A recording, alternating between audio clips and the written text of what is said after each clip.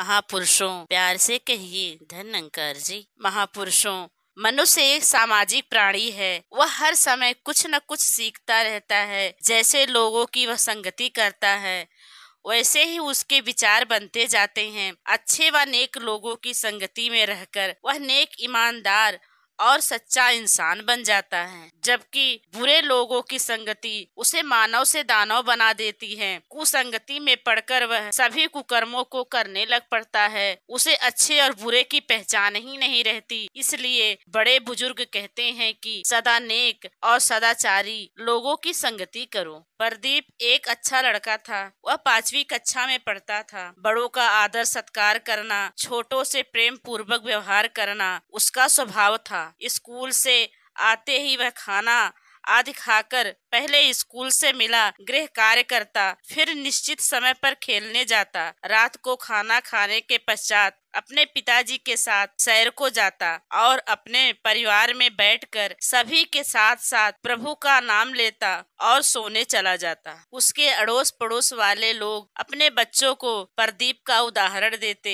और उन्हें उस जैसा बनने को कहते। वह जहाँ भी जाता, सभी उसे प्यार करते और सुंदर वस्तुएँ लाकर देते। जब प्रदीप छठी कक्षा में पहुँचा तो उसकी कक्षा में कुछ नए विद्यार्थी दाखिल हुए। उनके नाम गौरव और सौरभ थे। यह दोनों अमीर माँ बाप की बिगड़ी हुई संतान थे। बात बात पर झगड़ा, मोल लेना गाली गलौज पर उतर आना, दूसरों को नीचा दिखाना, स्कूल से भागकर फ़िल्में देखना छुप छुपा कर सिगरेट पीना, दूसरे विद्यार्थियों की कापियों से नकल मार कर काम करना, बड़ों के सामने ऊँचा ऊँचा बोलना और मनमानी करना, उनका स्वभाव बन चुका था। स्कूल में दाखिल होते ही उन्होंने प्रदीप को अपने साथ मिलाना चाहा। कभी उसे बाज़ार में ले जाते और वहाँ किसी रेस्टोरेंट में चाय पानी पिला देते। कभी स्कूल से भागकर फ़िल्म देखने के लिए उकसाते और पढ़ने की बजाय टीवी आज देखने की ओर ध्यान खींचते। प्रदीप अब बदल रहा था। वह बिना सूचित किए घर से गैर हाजिर रहता। कभी कभी तो घर से स्कूल के लिए निकलता, पर स्कूल पहुँचता ही नहीं। उसके माता पिता उसके इस व्यवहार से बहुत परेशान होने लगे।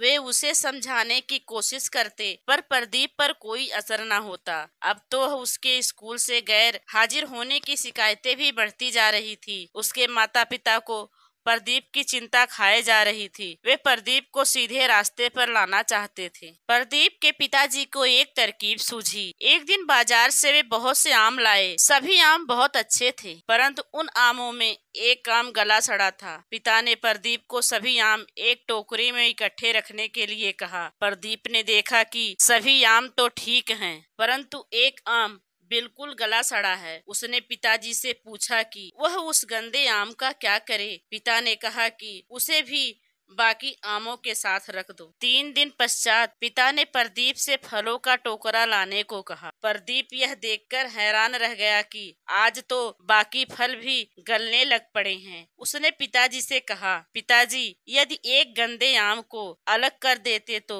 आज सारे आम तो खराब ना होते। प्रदीप की बात सुनकर पिता ने समझाना आरंभ किया, देखो बेटा, एक गले सड़े आम ने बाकी के सही आमों को भी खराब कर दिया। इसी तरह बुरा साथ हमें बुराई के रास्ते पर ढकेल देता है। बुरे लोगों की संगति हमें बुरा बना देती है, जबकि अच्छे लोगों की संगति हमें नेक बनाती है। अब फैसला हमने करना है कि हमने नेक लोगों की संगति करनी है या बुरे लोगों की। अच्छे लोगों की संगति में खूब पढ़ लिख कर जीवन में आगे बढ़ते जाओगे और अच्छी आदतों के कारण सभी से प्रेम पाओगे। प्रेम और हमदर्दी मधुर बाणी और नम्रता कुछ ऐसे ही गुण हैं जो केवल नेक साथियों की संगति से ही मिल सकते हैं। ज्यो ज्यो पिताजी समझा रहे थे, प्रदीप को अपने आप पर लज्जा आ रही थी। उसे एहसास हो रहा था कि गलत साथियों की संगति के कारण ही वह सबकी निगाहों से गिर रहा है। प्रदीप ने अपने पिताजी से क्षमा मांगते हुए कहा,